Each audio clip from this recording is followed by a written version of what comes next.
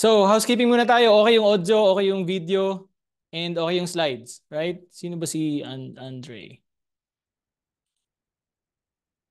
Right? So, all goods, all goods. All right. So, uh, again guys, magandang tanghali sa inyong lahat. Welcome again sa another free webinar dito sa Tech Academy kung saan uh, itong ating free webinar series ay nag invite tayo ng mga IT expert and real-world practitioners para mag-share ng kanilang IT journey as well as uh, information sa ating mga aspiring IT professionals. Para sa ganun, mabigyan tayo ng tips and career advice kung ano yung mga pwedeng magandang uh, path or domain na tahakin or para mabigyan tayo ng uh, kumbaga payo kung ano yung necessary skills na pwede nating i-equip sa sarili natin para mas mabilis mag-grow yung ating IT career. Okay, so this is free, this is live, Maswerte tayo dahil pinagbibigyan tayo nitong mga expert na ito dahil sobrang busy ng mga tao na to. Pero we are honored dahil nga uh, kahit pa paano pinagbigyan nila tayo. Okay? So right now, what we're going to talk about, bago pala yon okay, so as we always do dito sa mga webinar natin, stick until the end dahil yung mga magre-register lang doon sa ating attendance link, yung mabibigyan natin ng certificate of participation. Okay? So iba pa yung iba yung registration sa webinar, iba yung registration for the attendance. So yung mga attendance and participation dito sa webinar is yung mga nag-join lang hanggang dulo. Okay, so samahan nyo kami hanggang dulo. Okay, so bukod doon, we're gonna raffle din five winners of CCNA Fundamentals ebook. So yun, yung ebook natin dito sa Tech Academy, makakatulong yan if you are learning networks or CCNA or even other domain dahil uh, binreak down din natin yung foundations or fundamentals ng network. Okay, so if you're ready, I'm ready. Let's go ahead and start. Can you type in ready sa chat box natin, guys? Before we start. Yun. Ready ready na sila, Sir CJ. Nasa Australia ka ba, sir? Sabi ko kanina dun sa isang Christian, nasa Australia ka, di ba? Nakita ko dun sa, sa Facebook mo, nasa Australia si sir eh. Right, so, yun. Right, so, um, what we're going to talk about right now is the red team side of cybersecurity. And Sir Christian Villapando will share us uh, some of the advice or some of the things he wish he knew nung nagsisimula pa lang siya sa, sa kanyang uh, cybersecurity or IT career. Okay, and then as you already know, ang guest expert speaker natin for today or for today's webinar is Sir Christian Villapando. Uh, I guess the industry or our colleagues uh, known him as CJ, right? And then some of or brief information lang about Sir CJ.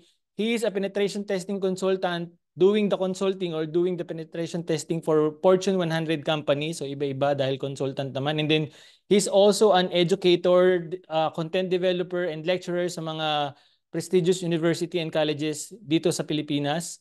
Uh, as well as he's a member of Hack Street Boys, a CTF-based uh, from the Philippines. So siguro na naman kung nasa cybersecurity kayo, dapat kilala nyo yan. Okay? And then he's also a member of PH Cyber Units. This one is an advocacy group that helps career shifters to get into cybersecurity.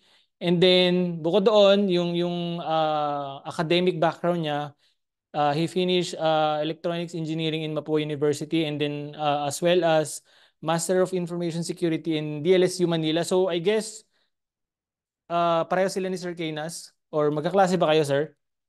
Right? And then bukod doon, uh, he hold he holds like what I've shared you dun sa email sa registration natin, he holds some of the prestigious cybersecurity certifications in the industry today like OSCP, OSEP, Pentest Plus, Nicomtia, Security, ISISA Plus, Nicomtia, as well as CISSP, and then uh, of course yung mga prestigious ones like the GIAC ones, GDAT, GSRT, Gmov, GPen, GXPT. So, marami pang iba. Okay, so tat mamaya tatanungin natin si Sir CJ kung ano yung magandang pagsimulan and then kung uh, ano yung mga tawag dito, mga strategy or technique para matutunan natin, makuha din natin yung mga ganitong types of uh, certifications at paano tayo matutulungan ito how to grow and uh, level up our IT career. Okay, so again, if you're ready, I'm ready. Sir CJ, take over. Ay, teka. Tama ba? Sir, na, na, can you check your mic kung okay na? Tapos, gawin kong host si, si Sir CJ. Okay na, Sir Billy. Hindi ko ma-unmute eh. Saka hindi ko ma-on yung video ng ako. Uh, I para think naka-disable siya. kaya na ngayon. Can you try? Ginawa na kitang host. Uh, yep, Yun! Yan, okay na. Yun. Yun, oh. Sorry. Uh, sorry, may ano lang. Pero, game. Uh, good afternoon. Sir Billy, thank you ah. Thank you for inviting no, sir. me here. Thank you. It's our honor. Kasi alam namin no. super busy mo pero yeah, so honor kami dahil pinagbigyan mo kami. Kasama nitong uh, wala, wala. No problem, sir cybersecurity uh, professionals. Hey. Hopefully, marami kayong makuha no sa sa feeling ko for for this afternoon. Okay, so uh, I'll start no uh I'll just uh, share my screen very quickly. Ay, Let me just set up yung presentation ko. I'll have it on Safari. So uh wait lang. Let me just quickly share. Where is that? Right. Um we should be seeing the slides uh, as well as seeing the video. Uh, okay ba lahat? Audio, video, and as well presentation? All yep. good? I think All right. we're good. Uh, okay, it's good. Sige, uh, let's start. No, so thanks for inviting me, uh, Tech Academy, no, Sir Billy, for for this opportunity to share with you a presentation. No, so uh, what I really came up for as a topic is, uh, I was trying to think of ways of how I could share the red team side of cybersecurity and at the same time be able to inspire people and also point them to the right direction that could help them get started no? Kasi uh, I myself no just a little background of what I do I do most of offensive security kind of work no? Uh, that means I do a lot of most of the time pen testing a little bit of red team but really most of it is really coming from a perspective ng attacker no? So in the while I have the experience of being a defender, it's not something that I do like regularly 8 to 5 on daily basis, no? But of course, meron rin tayong mga understanding and experience with that one. So what I'll try to share, no, is uh, how could you jumpstart your cybersecurity career, no? This is for those who want to shift to cybersecurity or even those who are in the cybersecurity career already uh, with some of the things I wish I knew no six years ago, which goes to show how long I've been in the industry, which is around six years. No, uh, mm. started very early in the industry. That's my my cyber na yung first uh, work ko. And uh, let's just make this very casual na. I usually present at a very serious time note. Oh, bro. It, it's, this is casual. Medyo, Kumbaga parang oh, tropa-tropa lang. lang. uh, uh, so if may questions kayo, if you have any questions along the way, no, and you'd like to raise them, if it's like appropriate for me to answer them or i-cover ko later. Sa, uh, yep. In case uh, na appropriate we, siya. We, we can answer some of the questions, lalo yung mga short ones. Tapos at the end, we can do Q&A para dire-diretso. Okay, sige. Let's just I'll just present go through all of these things no and then let's have Q&A for later. Uh, I'm just checking the chat as well. Oh, si Ren, si, si Oh, si Sir Renzo, no. Okay, anyway, let's get started. So here's some of the you things. Know. So, uh, I've been introduced now on kanina. So what I really do is a morph pen test. Uh, I'm also taking a master's uh, in InfoSec with SANS Tech Institute no in the US. It's online based lang naman. So I don't have to really travel there. And it's a little bit about me. So, I mean, mahaba na introduction about me. So, pretty much know who or what I do. So, what I'm going to cover really or outline is to, to tell you first what is a red team. No? What is the concept of a red team? Why do we have this? And where did this originate? And at the same time, I'm going to help you define some terms that you'll encounter during your red team career or if you want to just understand how red team works. Ano yung mga terminologies? What is a vulnerability? What is a pen test? What is a vuln assessment? Because these are the places where people who'd want to do red team initially start or try to understand. Then after noon, after I give you a little bit of understanding of what how red team works, I'd like to share with you some of the things that I wish I knew before. And technically, if you, if you have no time, we just came here to list no, ano five things na yon. Ito yun sa slides. No? Uh, I'll discuss this a little bit more later, but it's technically these five things on the present on the current slide. So first and foremost, what is a red team? No? Uh, well, red team is technically a term na binaro natin from the military side of things. Ibig sabihin, uh, the concept of red team is not really originated by cybersecurity or started by cybersecurity. It's rather, uh, I referenced this in one of the US DOD, no? yung US DOD, US Department of Defense, uh, which is technically a agency in the US, but uh, they're pretty much known. No? If you if you watch mga movies na may hacking, NSA, mga ganyan, technically they they are part of DOD uh, somehow. No, but uh, they define this in the document. No? And by the way, the document is around 2003 pa, uh, so it's been pretty old. But the definition is still a perfect fit of how we define red team. According here, it's the purpose of a red team is to reduce an enterprise's risks and increase its opportunities. No, it might not be very cyber specific. Na let's say emulate a threat a threat actor or simulate a set of attacks, but rather it's uh, we're trying to reduce the risk of an enterprise, which could be an organization or a government agency or whatever. Basta kung entity ka, you're trying to reduce the risk and increase your opportunities. Ibig sabihin, increase your opportunities, no? To be able to present yourself in an area na mas makakapag-business ka kung kumpanya ka.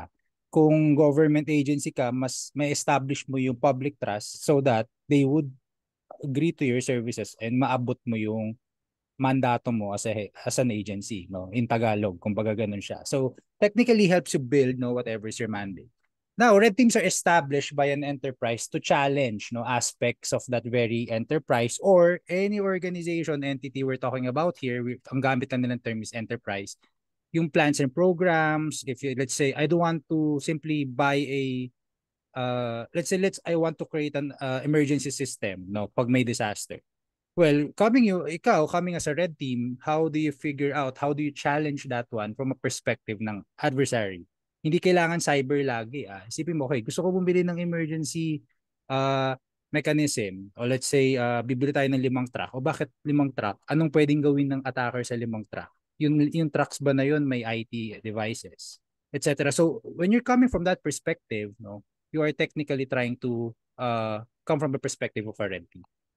Now, a hacker is not always, I mean, a red team no, is not always, uh, uh, I mean, defined as a hacker. No? And hacker is usually a, not used to be before na medyo magulo ang definitions niya, but today medyo may alam na ng tao what really is a hacker.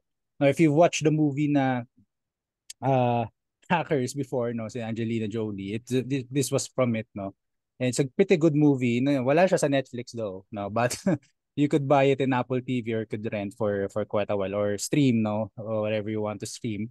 But it technically shows how the hackers were perceived back then no. They were like pretty weird people. If you're wearing like uh, rollerblades going to the streets no parang weird yon but today it's it's not really that so much of a weird thing no. So here's like a I mean a very generic meme of how a hacker is seen by the society no sample of how your friends think you do. No, your Peter's really smart. No, uh, what you're because you don't explain to your mom what you what you really do. No, they think you just work in IT.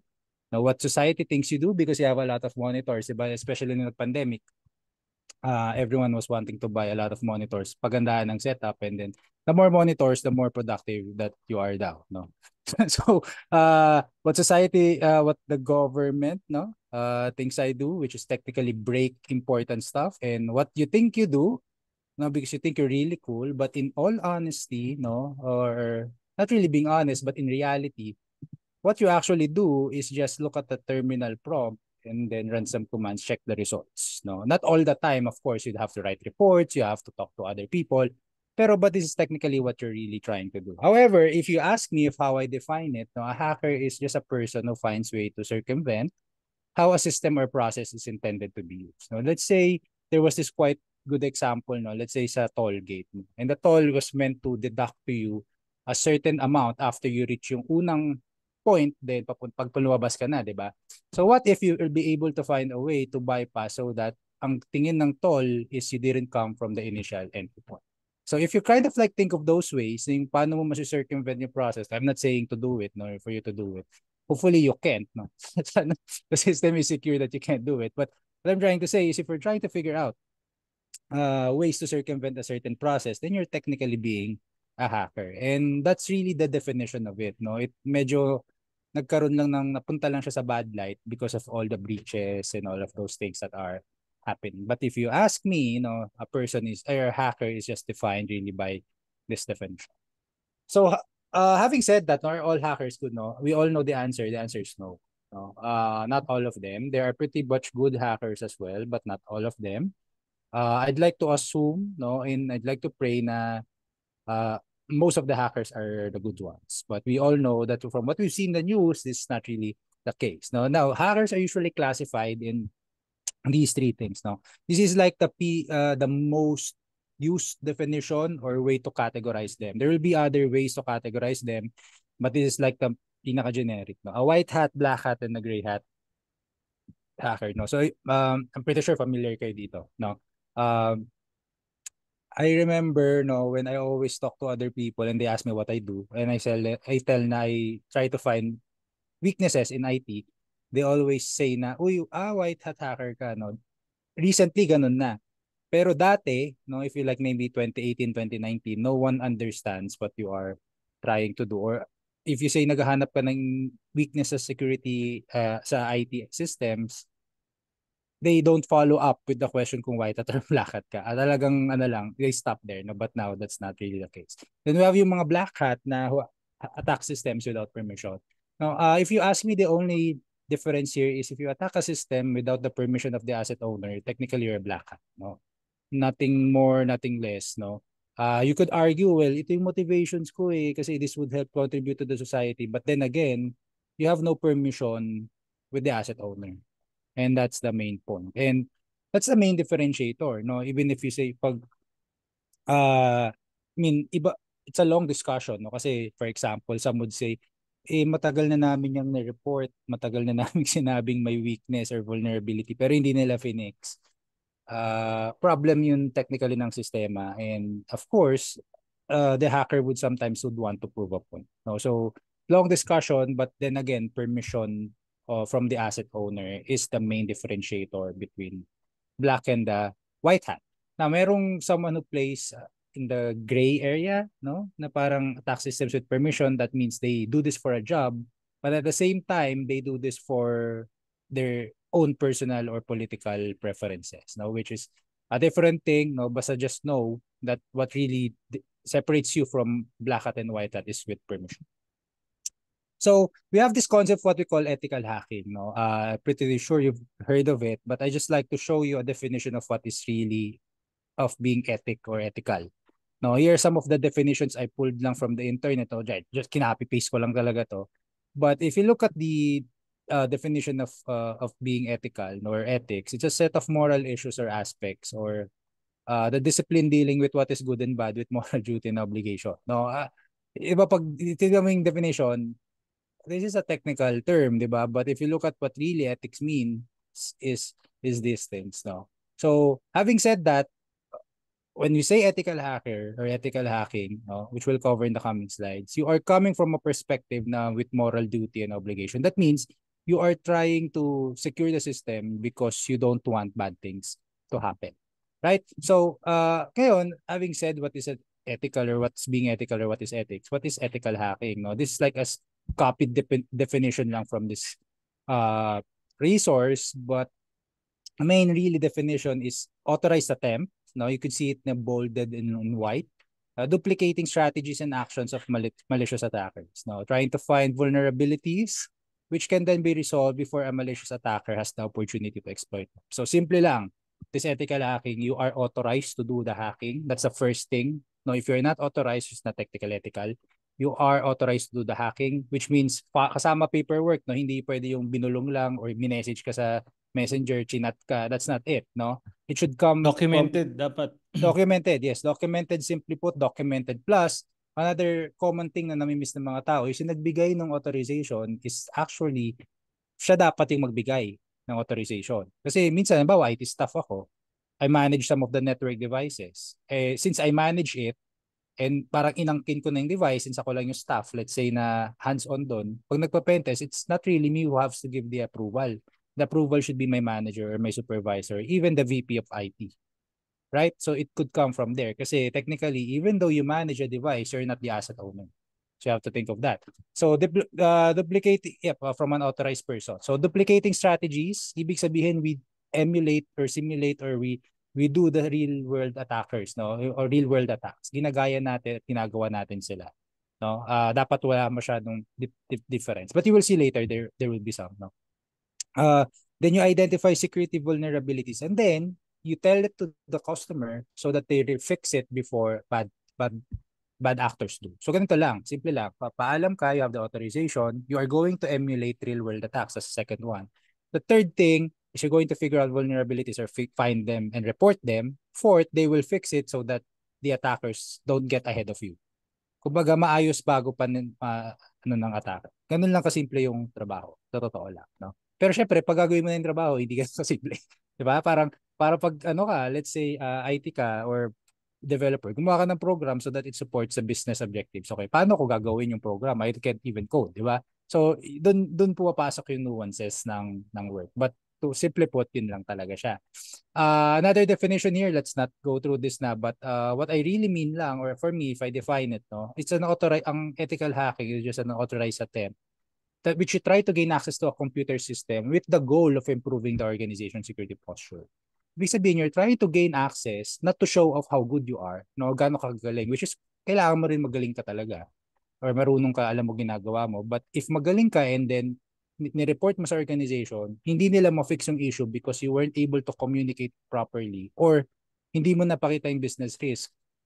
Tingin nyo may iwan ba nun ng organization na ma-secure? Uh, most of the time, hindi. Kasi halimbawa, present ko yung finding na very technical. Pero I wasn't able to describe it in a way that shows anong impact sa business. Mawawalan ba sila ng pera? Mananakawan ba sila ng data? Pag nanakawan sila ng data, lagot ba sila sa regulation? Sa mga batas or kailangan nila i-follow na compliance. If hindi ko minention yun, ang magiging tingin lang nila dyan, technical issue. Diba? So pag pinakita mo sa kanila na, okay, may technical issue tayo, plus at the same time, if you don't fix this, you will lose and thousands of dollars or pesos. Okay, dun sila mag-iisip kasi again, ang business is really about thinking about the money. They don't really care if how many vulnerable systems you have. If it will not cost them anything, they won't prioritize it. Kasi it's eh, wala eh. Will it earn me something? Diba? Ba't ko gagawin? So we have to show that very importantly para ma-increase yung organization security posture. Now, some terms that you will see. A vulnerability uh, is technically just a weakness in a certain object. No? So let's say may bintana ka, tapos luma yung bintana mo. It's like there's a vulnerability there. Madaling basagin. Kaya lang kasimple.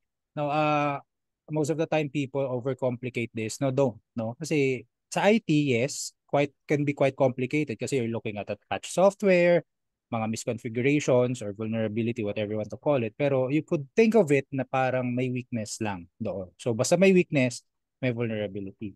And then the exploit. Well, ang exploit is a script or executable. No, technically, you could think of it na it's a mechanism that will trigger or abuse a vulnerability.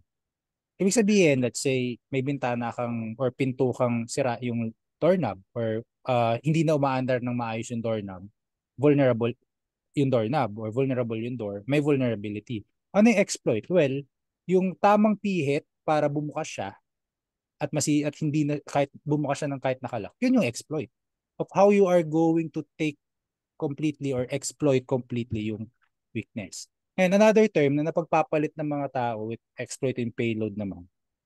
Payload is technically what comes after my exploit, no? So let's say may door ka which is vulnerable, pinihit ko ng let's say tatlo sa kanan, dalawa sa kaliwa, that's the exploit which technically allowed me to open the the locked door. Ano yung payload? Well, anong gagawin ko after ko mabuksan yung pinto?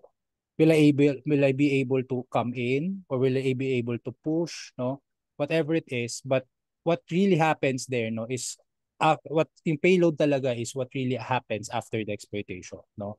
So you will sometimes see that ito yung payload which triggers the vulnerability, which exploits the vulnerability and then performs something. Sa mga nasa pentest world na dyan or mga hacking na, let's, you will, it's uh, important to understand these things. No? Anong pinagkaiba ng exploit at, at payload. No? But, but payload is really what happens after the exploitation. Yung threat naman, obviously, is what can go wrong no? Because you have vulnerabilities, you have exploits. So let's say you have a vulnerable door that could be exploited, is that's a threat. Diba? That's technically a threat and someone could do that, yun pwede nating tawaging threat actor. Yung taong magbubukas, yun naman si threat actor. Setting the slides, but I just want to mention. Then the risk is impact times likelihood. No? Uh, you will always often see yung impact times likelihood but doesn't really mean na math siya.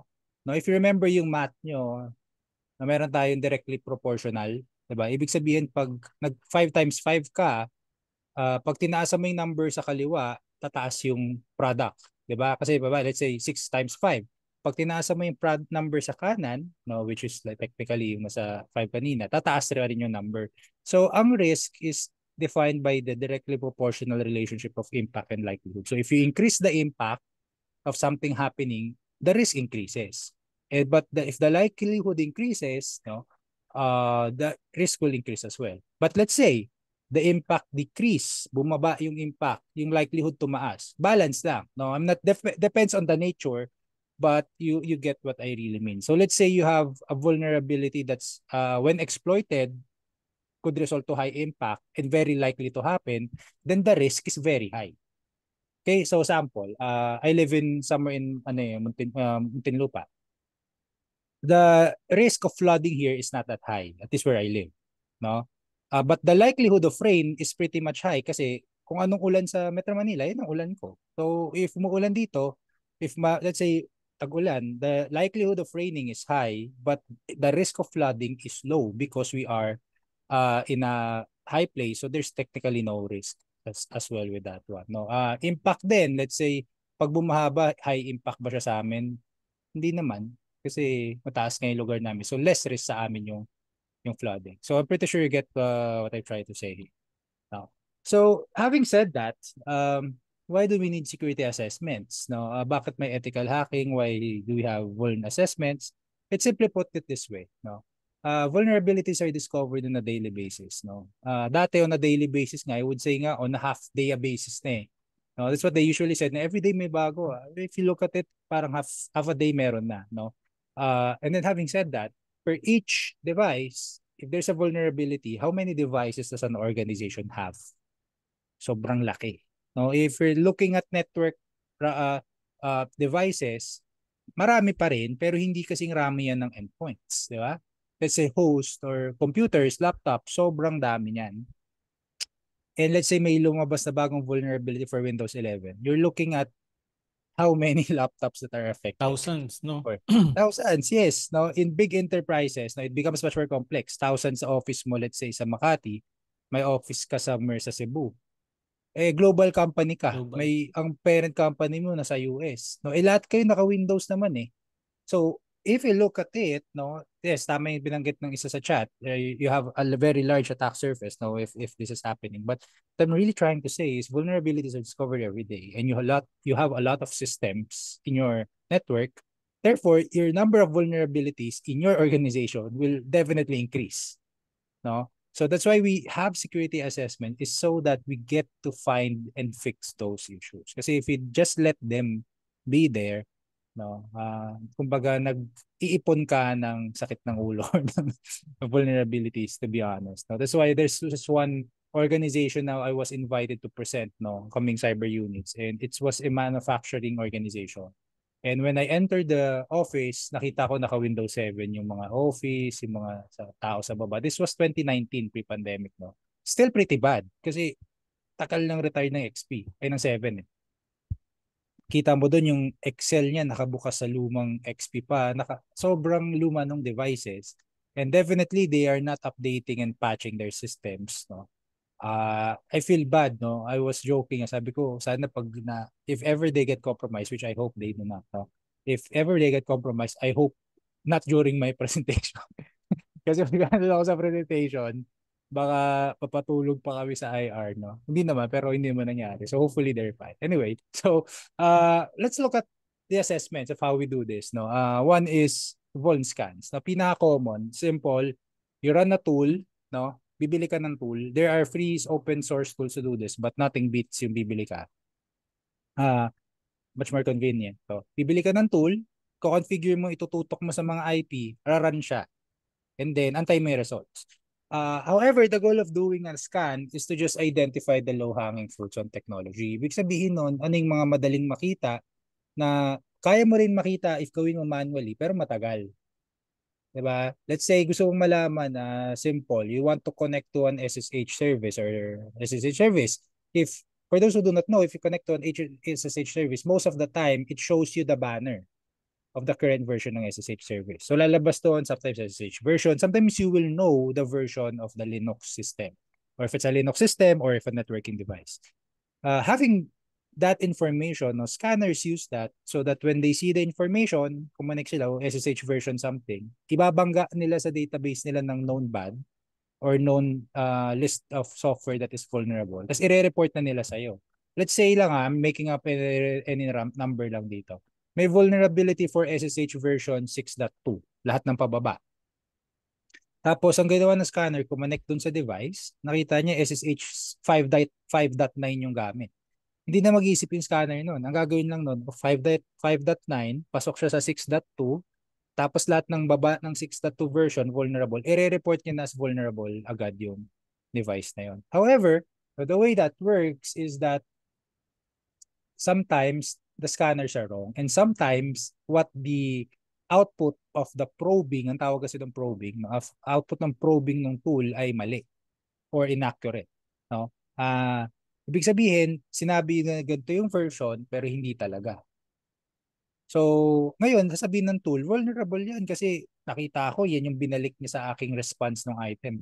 Pero sa totoo pala, binago yung response ng dev or binago yung response ng sysadmin or ng network admin. Or, may ba, may may ganun talaga umaandar yung system na kahit i-patch mo, hindi nagre-reflect yung version. So, it could happen that way. So, if that's the case, lalabas sa scanner na vulnerable pero kahit na-update na pala. No? It's a good uh, way to identify vulnerabilities no uh, however be aware that it's highly likely to cause false positives and mali ang rating nito most of the time. No hindi naman mali no?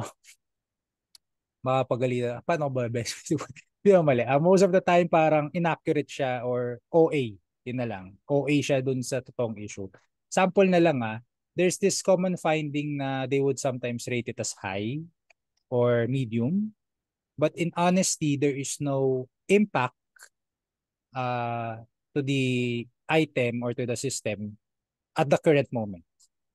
So, it will say na medium or high siya, pero pag inassess mo talaga, hindi siya medium or high. Siguro low lang or good to know.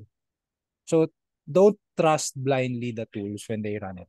Uh, so, it's the difficulty with using a scan. Now, uh, next step doon sa scanning is doing an actual pen test. No? Which is technically, do a portion of, or you do mostly yung ginawa mo kanina sa vuln scan. No. Uh, may technically may vuln assessment pa dito eh, but I won't cover it. But what you really did is you did the scan and nakita mo, okay, I have these vulnerabilities on these devices.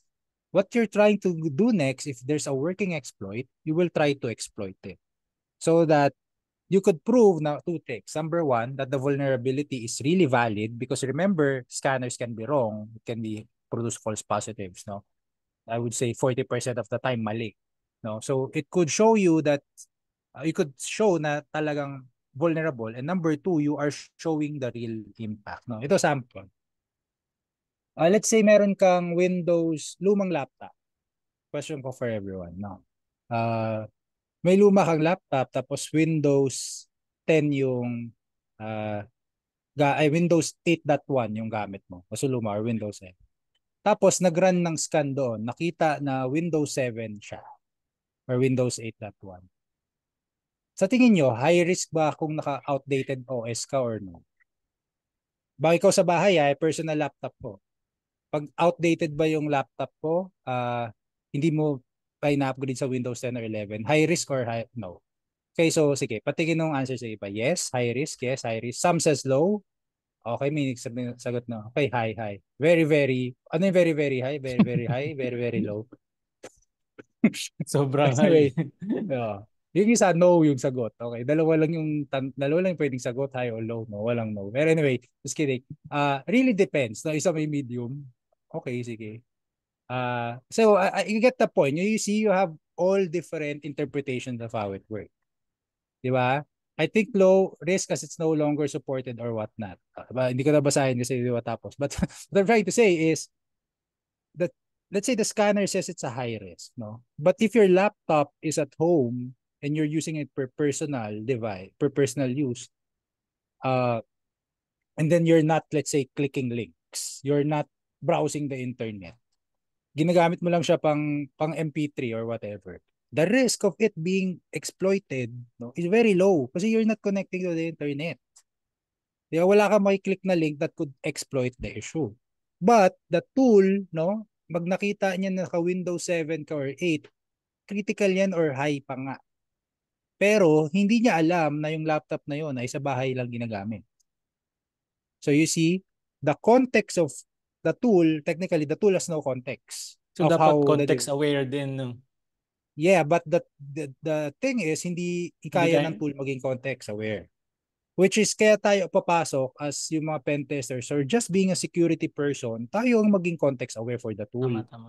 Kasi bawa sabihin ng tool, oh, okay, critical yan, Windows 7, eh, hindi, hindi ko na ginagamit yung laptop na yan eh. Ngayon, pag hindi ko na ginagamit, lumabas yung ibang mga critical issues. Pinalo natin siya as is. Magpa-patch ka ngayon ng laptop na hindi naman ginagamit. Paano, that hindi, that inuna mo yung ibang critical na alam mong mas high risk, mas high likelihood to be exploited. No? So, having said that, no, just going back, just trying to show you a point na how tools should always be used in, in, in the right context.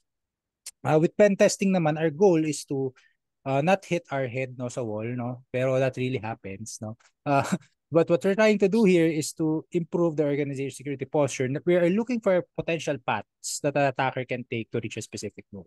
No? So the way I always share how Pentest works is hindi yung puro hacking. Okay, here the tools, Mimikatz, Rubius, Mag-C2 Framework, all of those fancy tools.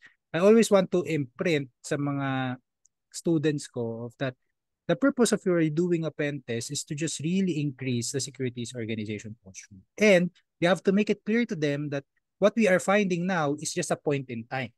Ibig sabihin ng point in time test, when I tested your application this week, nung ganito ang init ng panahon nung araw na yon, nung linggo na yon, ito ang security ng application mo. Hindi ko na yung sagutin kung next week, mas insecure siya. Of course, we will try to cover all, But as I've said, vulnerabilities are discovered on a daily basis. No, don't expect na pag pinapentest mo yan this week, sa December, secure pa rin yan. Dahil wala kaming nakita.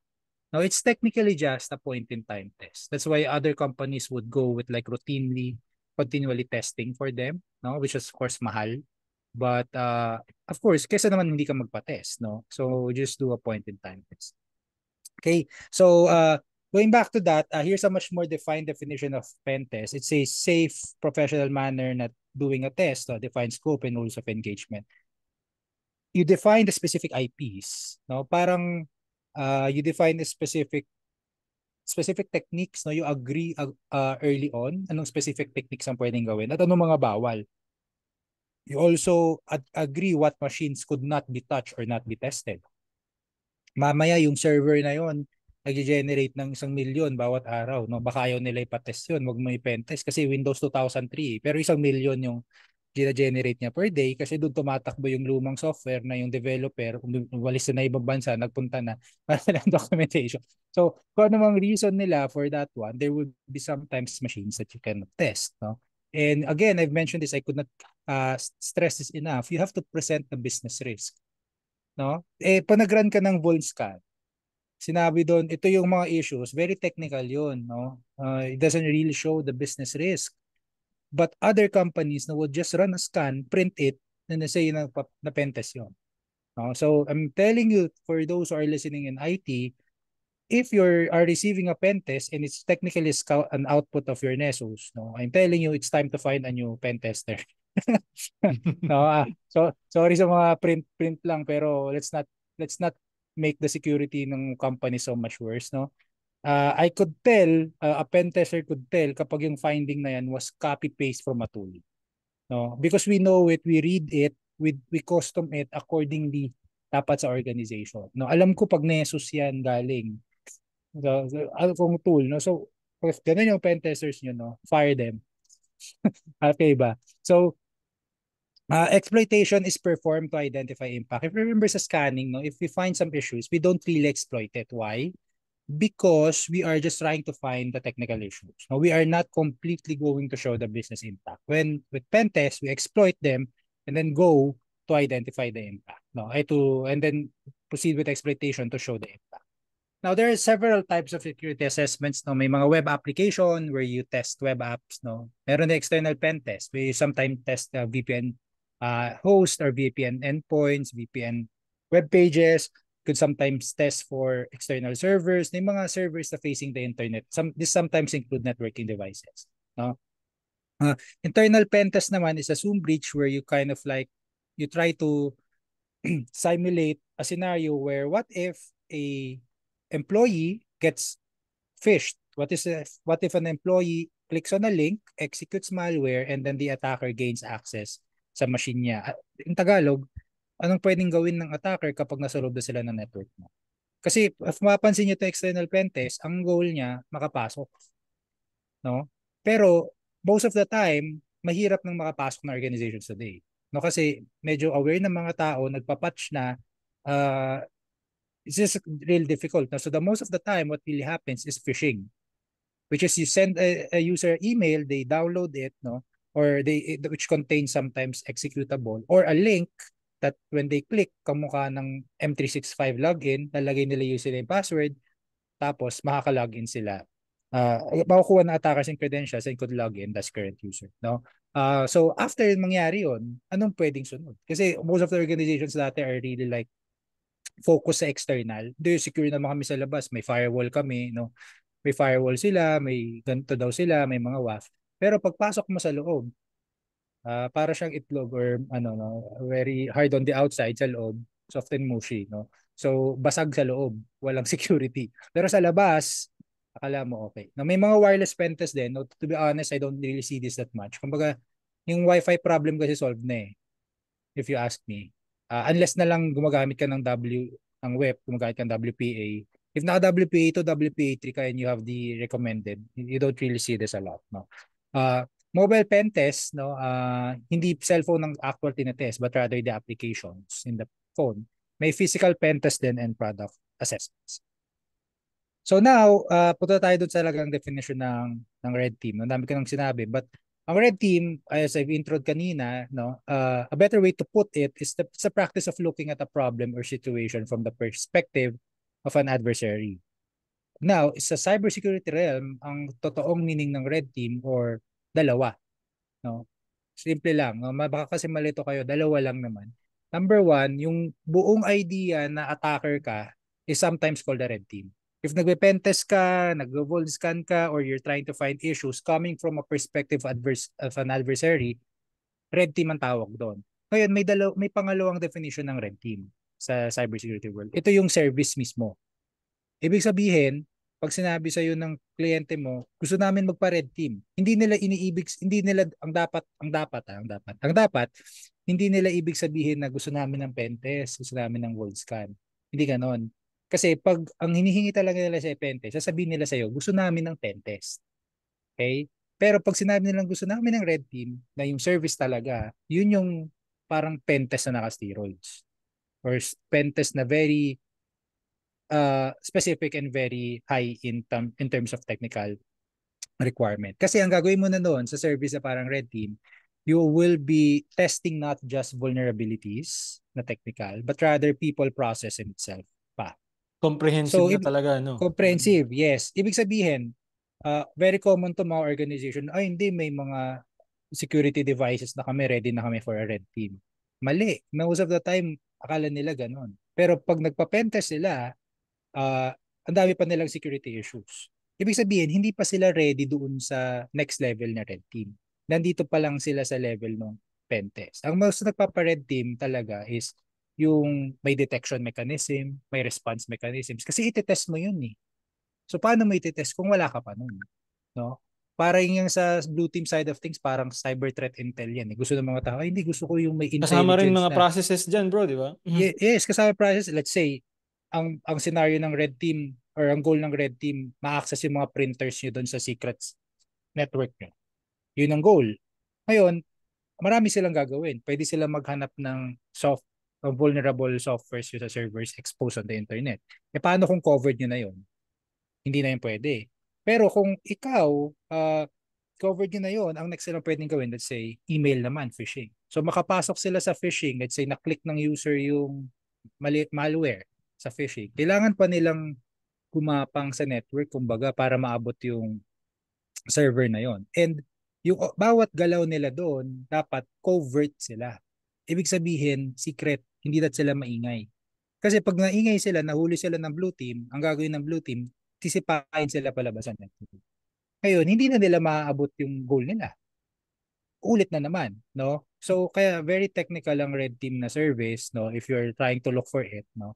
Most of the time, if you want a red team, you are not ready for it. No? Sa Pilipinas, ah, I mean, definitely some of the organizations here are ready for it, but uh, you have to check kasi mahal ang red team and it's not really worth it. No? Sometimes what you just really need is a pen test. So, so trabaho rin yun ng consultant, yung nagbebenta ng pen test or gumagawa ng pen test na ipaliwanag sa customer na okay, I think what you really need now is a pen test and not a red team. No? And maayos yung pen testers niyo pag ganun sila. No? Okay? So, having said that, yun ang red team. Uh, now, I'm trying to share with you uh, five things that I wish I learned no? uh, six years ago. And first and foremost is yung continuous learning. No, this is one of the things na hindi ko inisip. No, I'm coming tong itong limang to. I'm coming from the perspective na when I started cyber, I wish I knew this agad. No, I know this now because I've seen it happen and it worked for me. And it worked for other people no but it may not work for you no. If it hindi siya okay hindi siya mag-resonate that's fine no. Hindi naman ito yung uh, tamang way lang to do everything no? but I'm what trying to share is uh, this is the thing these are the things I wish I knew before. Number one is I need to continue learning no. When I started in cybersecurity I did not realize how much of the content or how big of it is that I have to learn No, akala ko alam malaman ko lang yung denial of service ano ibig sabihin nun cybersecurity na ako. Wrong, no? 0.001% lang ng cyber. no? Very very small, no? Uh, akala ko okay na dahil alam ko na paano umaandar tong tool na to. Wrong. No. Because that's not really everything about cyber, no? Need to continue learning and you have to accept that, no? I try to not very to not be very harsh about this. But if you don't like to continuously learn, being in cybersecurity will be very hard. No? If ayaw mo magbasa or ayaw mo magano, this is coming from a perspective na zero ka.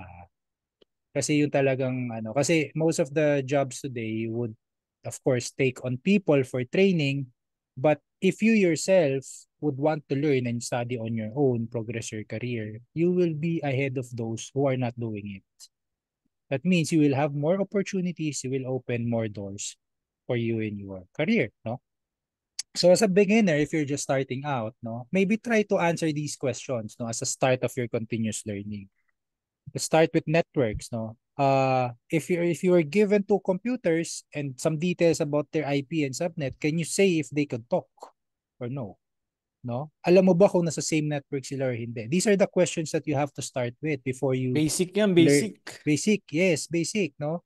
alam mo ba yung TCP, UDP, HTTP, DNS? No? Anong function nila? No? Even yung pagbigay lang ng assign, pag-assign lang ng IP ng DHCP, dapat alam mo yung four-step process na yun. No? Hindi naman kailangan talaga, pero kail ako inalam ko. Because in most cases, no, there's an attack that we call DHCP snooping and DHCP exhaustion. How will you understand the attack if you don't know how the protocol works? Right? Diba? Let's say, oh, may TCP or packet flooding or whatever bang mga DDoS, how will you know if, how it works if you don't understand yung internals? How does a three-way handshake work? No? Because if those things you don't know, that you will not understand your tools. And there will come a time that your tool, you will be okay with your tools, but there will come a time that your tools won't work. And you can't figure it out because you don't know how it works sa loob. And that will separate you from others who are just copy pasting the commands. Now that's good if you're starting with that one. That's fine. No, but as you progress, you have to understand. You need to learn how the tools work. More likely, how the protocols work. Um, so another thing you could try is what is Linux. No, uh, most of the time tayo we've been using Windows. No, when I started cyber, I have not used Linux. No, what is LS? What is CD? No, uh, you have to learn that because in most cases you will encounter Linux systems. You will encounter those machines, those Linux systems, and you have to interact with it. If you don't understand how to read the file, if you don't know how to read the file, change a permission, how could you log in via SSH sa Linux, you will you will have a hard time. No, ako, what I did before is when I encounter a difficult topic, I start from the very, very basic nung topic na yun. Let's say, makita ko, oh, may, di, may uh, DNS exfiltration. No? Anong ibig sabihin DNS exfiltration? You're the attacker is stealing data via DNS. So content ng DNS response no is actually part of the data. Eh, I mean part of I mean part of the exfilled data is is nasa part nasa response or TXT record no for example ng ng DNS. So how did I understand that? No? How did I learn that? Well, I started with how DNS works. Para saan yung DNS? 'Di ba? Bakit pwede siyang gawin via DNS? Anong characteristic ng DNS kaya pwede mong gawin yung attack na yun? Now, if ma-understand ma- mo yun maigi, kahit patayuin ka sa harap ng isang libong tao, tinanong ka paano ma-under ang DNS, may explain mo. And usually, if you're working, that's how it's going to be. You will be put in tough situations and you have to explain how it works. And uh, that, that's the reality. So learn it, no? I'm sorry if medyo parang nakakatakot naman. Pero you have yeah, to start real talk, somewhere. bro. Good. Real It's talk. good. Yo, Yeah. Ganun talaga siya. No? So, another thing is, how do I create a file using Linux command line? No? Ang Linux, most of the time, you don't have the interface. Hindi ka pwede mag-notepad control S save as file.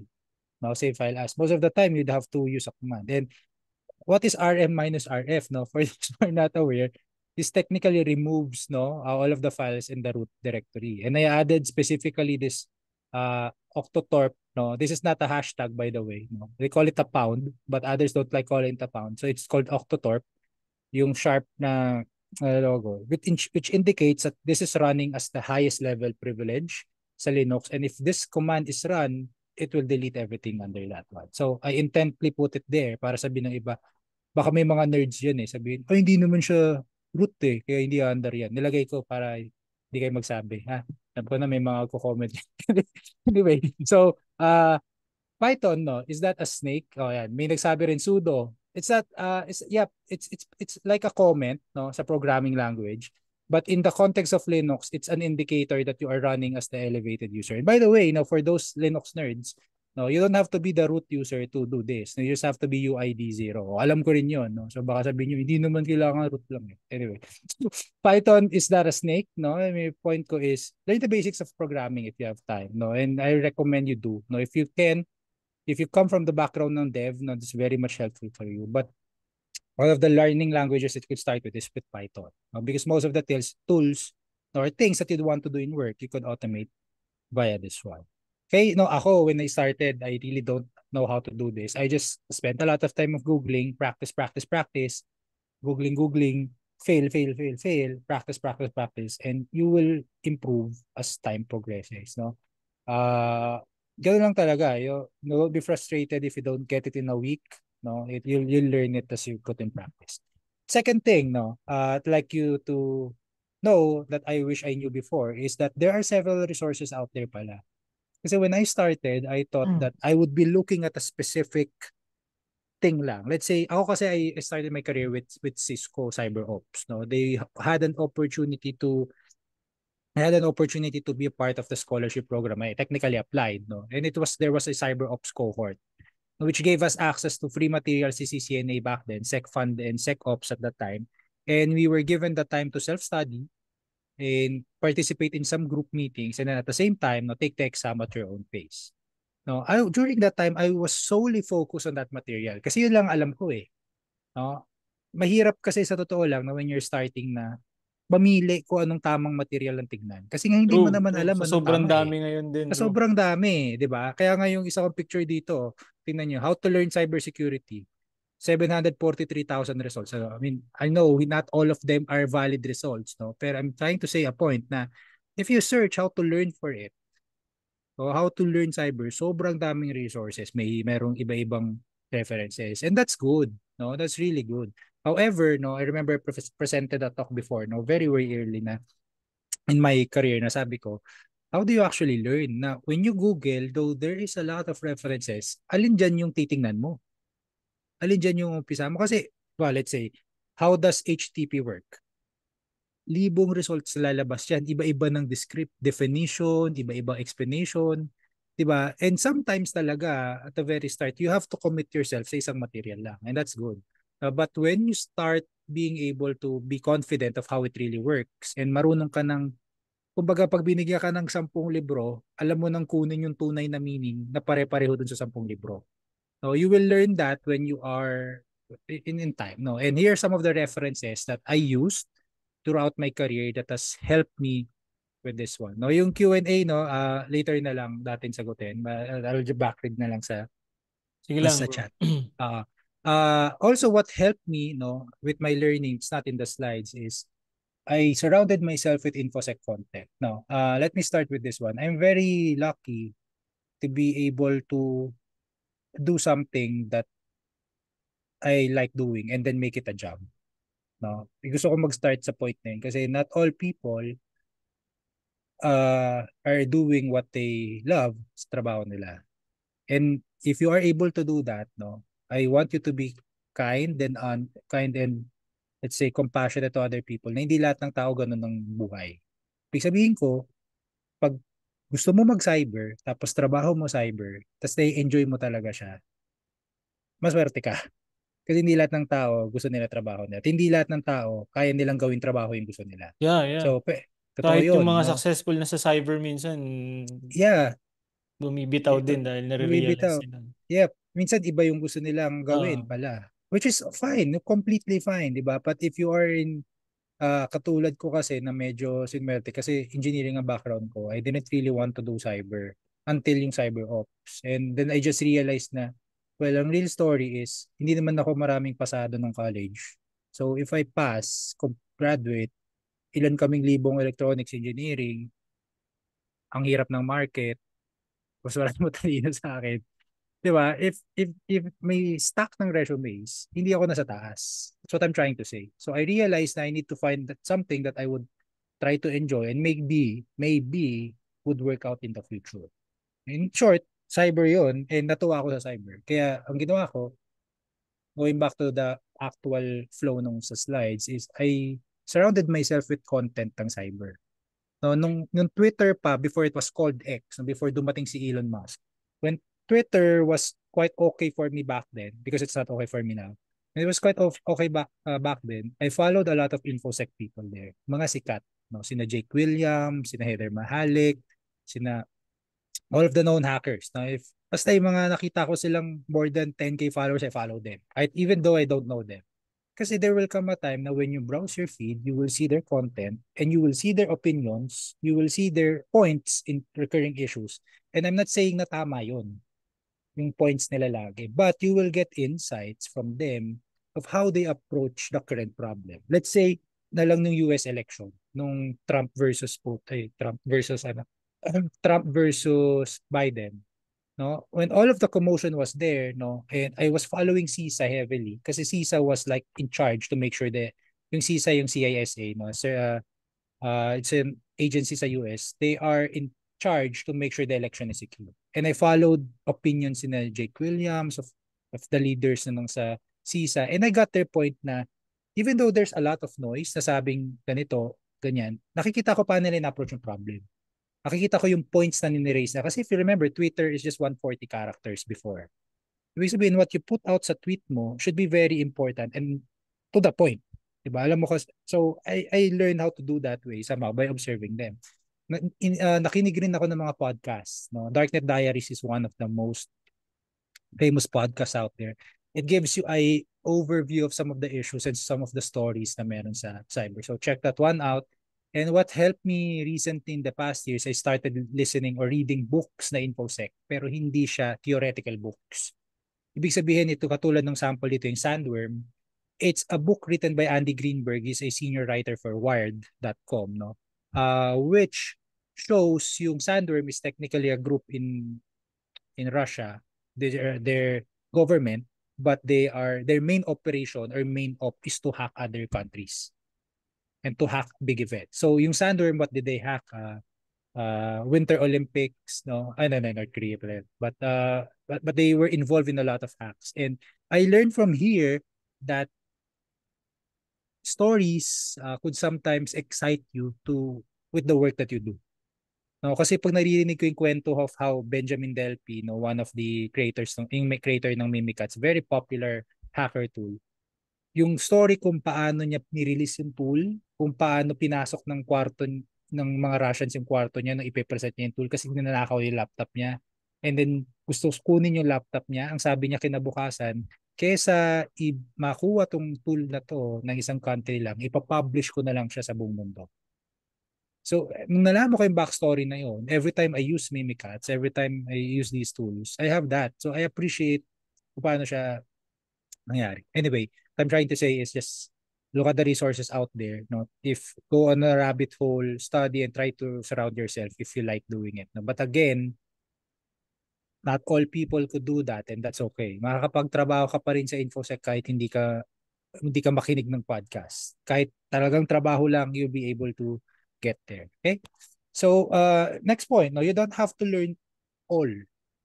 No? Eh, very common yan ako, ang laki ng cyber. There's so much needed skills and concepts I need to know hindi ako pwede dyan. No? That's not true. No? Wag mong, ang tawag ko sarili, ang tawag ko nga dito, wag mong i-gatekeep yung sarili mo. Kumbaga, wag ikaw yung, bawa mag-apply ka ng trabaho, sabi mo, hindi ko kaya yan, hindi ako yan. Mag-apply ka lang. Pat pag hindi ka naman natanggap, edi may nawala ba sa'yo? Konting pindot lang naman yung nawala sa'yo sa kaoras eh. Pero pag ikaw mismo hindi mo tinry, ikaw yung nag-prevent sa sarili mo to, to proceed. No? And don't do that. No? So it's the same here. If you real if you think na marami kailangan aralin, don't tas hindi mo kaya, don't be that person that stops yourself, no? Uh, just try it. Uh, ang thoughts ko lang dito is you have to start somewhere. Ibig sabihin, you have to learn some certain skills. And in cases na when you are starting out, notice what worked for me, I tried to understand a little bit of everything. Masabi natin, di ba malaki ang cyber. Meron kang blue team, may red team, meron kang security engineering, meron kang GRC, governance, uh, risk compliance. Hindi mo kaya aralin yung lahat. No? But, kaya mo yun, aralin yung pinaka-basic ideas nila. Excuse me. Para mag-focus ka doon, which is come in my next slide. Pag nag-focus ka sa isang bagay, kaya mong makipag-usap sa mga ibang tao of the work that they do. And yung work mo, na ginagawa, mas magiging, I would say, valuable kasi alam mo kung paano ito magagamit ng ibang teams. Let's say you work in pen test. No, ako, pen test yung work ko. Very technical. But I understand how the blue team works and anong nakaka-stress sa kanila, anong itsura ng buong araw nila. I understand or do my best to understand how does governance work in an organization. Paano ba andar yung audit? No, I'm not, kasi common yun yung IT ayaw makipag sundo sa audit kasi nga hindi naman daw marunong. Pero if you do it like that, di ba, how will you improve the their securities, your organization security? So when I do something, no, I try to present it in such a way na madali itong mafo-follow ng blue team, madaling masasatisfy yung kailangan ng audit, at the same time, nagagawa ko yung trabaho ko ng maayos. No? So always try to think of those things. So sample here, uh, if you want to be a pen tester, how does a buffer overflow work? No, yung pinaka-basic niyan. Hindi mo man gustong maging exploit dev, pero kailangan medyo alam mo yung basic niyan. Kasi hindi mo naman siya nga siya gagawin, pero it's good to know. What is cross-site scripting? Yan naman focus ng web app pen tester yan. Hindi mo siya kailangan kabisadong kabisado kasi galing ng mga nagwe-web app pen test sa bag-bounty dito sa Pilipinas. But you have to understand what is the principle of it. Ano yung Kerberos? No? What is it used for? what are the C2 frameworks that are very common, no? And while you're learning that, no, you will get the experience along the way, no? There's this meme na added lang nasabi, so you're telling me I have to get experience before I get experience, which is a common uh, question sa InfoSec, no? Or sa IT, kahit IT. Paano ko magkaka-experience kung yung trabaho na basic ay kailangan ng experience? Diba? So, Oo, uh, nakalagay dun open for fresh grad pero requires 5 open, years experience. Yes, yes, open for fresh grad, no? But requires experience. And here's the uh, no, may may may little answer to that one, no? Uh, we can't fix the HR issues eh kasi minsan minsan naman ka-copy paste lang sila pero hindi natin masagot. That's the another issue. But if mag-focus tayo doon, paano tayo mag-succeed, di ba? You, you, you focus on what you can control.